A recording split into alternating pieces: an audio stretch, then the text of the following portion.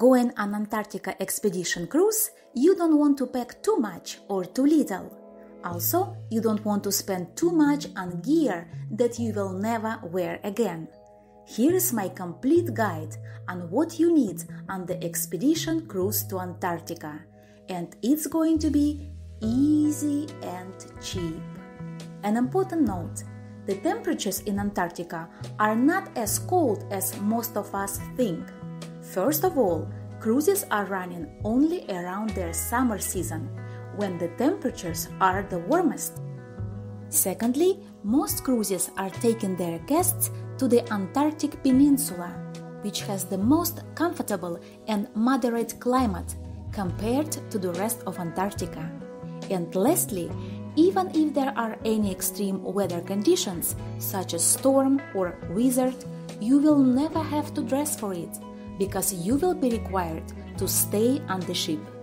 So, why dressing to Antarctica is easy and cheap? Because most of the items you already have at home, and the rest will be given to you to use or given to you to keep by your tour operator for free. There are three areas that you need to think of actual expedition, leisure time, and extra activities. Here is my complete dressing guide. To dress up for the expedition, we start with the base layer socks, leggings, and top. It can be thermal or just soft, stretchy, and tight to your body. The second layer is a fleece layer of socks, pants, and jackets.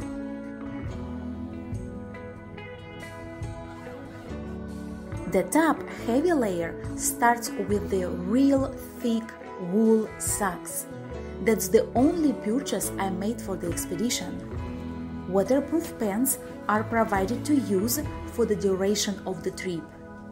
A neck gaiter is also provided and it protects from windburn while cruising on Zodiac. A nice waterproof double layer jacket is provided by the cruise to keep. The majority of people were wearing them, but I decided to wear my own. The same concept, double jacket. The bottom jacket is warm and soft. And the top jacket with the hood provides an excellent wind and water protection.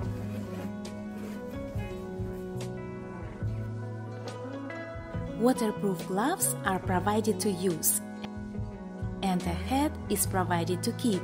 Sunglasses and sunscreen are a must.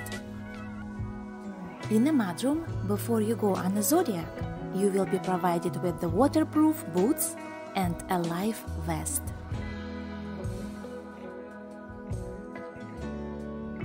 This is a complete look for the expedition.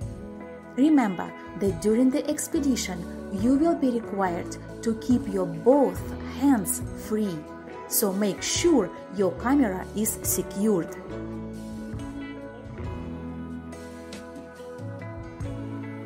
For the outdoor leisure time taking place on the deck, bring a pair of warm tennis shoes or boots. You can enjoy the observations and the barbecue party outdoors in comfort.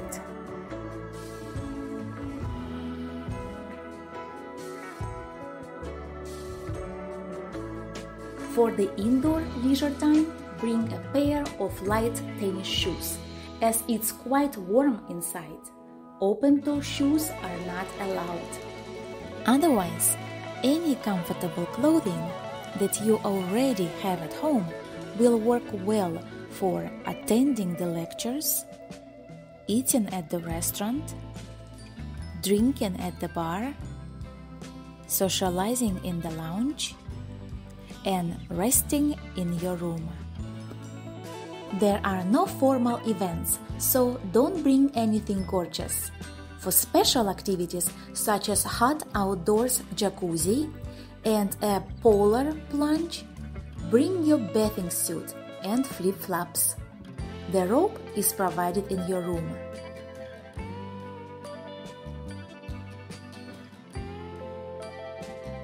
Here is a quick summary of what you need on the Antarctica expedition cruise. I hope you enjoyed my video and if you like and subscribe, I would appreciate it. See you on the next one.